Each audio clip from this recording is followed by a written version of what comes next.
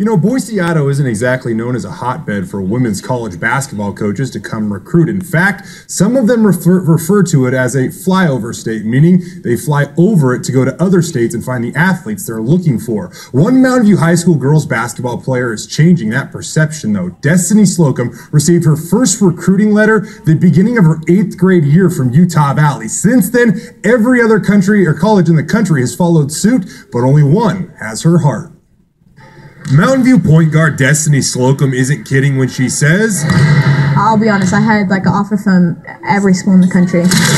From North Carolina State to Georgia Tech to Missouri, Kansas, UCLA, and even Duke. I've been a Duke since I was like a little kid. I wanted to cry. All of them were hoping that Destiny would help their own destiny. I could have gone anywhere. But on Monday, the high school junior took what she described as a leap of faith I always told myself I'd go off Phil. and verbally committed to the University of Washington. I just feel like UW is like the perfect fit for me. I couldn't just go to a school where it's all about basketball, where everything is based on basketball. I have to go to a school where we're developing as people and players. While a number of schools she was recruited by have had more recent success, one thing that is important to Destiny is being a part of the process. They haven't got there yet, and that's I want to be the one to help them get there. The crazy thing about this, Destiny is only a junior, meaning she has two more years of eligibility left as a Mountain View Maverick.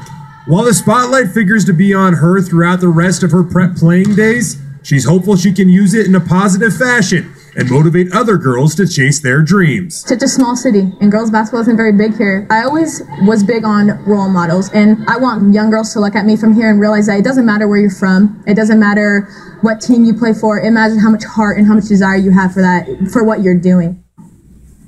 You know, there was one school that didn't offer Destiny until after she ver- er, verbally committed to UW. The UConn Huskies, yeah, the defending national champs, called her the day she committed to be a dog. Destiny reassured them, though, that she's a woman of her word and that she's headed to UW in a couple of years. Over.